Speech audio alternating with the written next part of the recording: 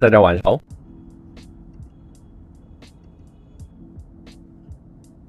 Tonight, I must release the features I've made.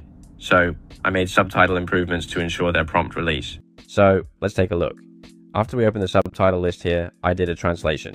So you can directly choose to translate into a certain language here, such as Chinese. Then you can jump to the position you want to see.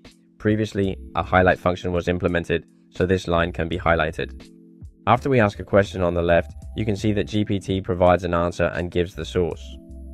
For instance, to view the 30th second instantly or skip to 1 minute and 25 seconds, we can display the corresponding subtitles and their translation.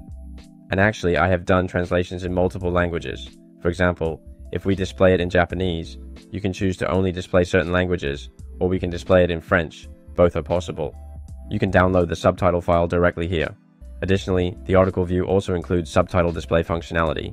Not only are there various languages displayed in the subtitle list, but they can also be displayed in multiple languages in the article view. For example, after we translate, we can also see what this paragraph means in Chinese here. Then we can also click to jump to the location we want to see. For example, if we are very interested in this paragraph, we can directly watch the first minute here. I added a feature to the subtitle list, enabling filtering based on GPT keywords. This allows us to view positions where these keywords appear in the subtitles with ease. We can remove the keywords we have used and examine the context here. This way, you can easily view the content of the sections that interest you. Okay, so this is the main content of today. Everyone quickly try it out, one-click translation, and then view the content of your interest, and then click to jump to the corresponding content on the left.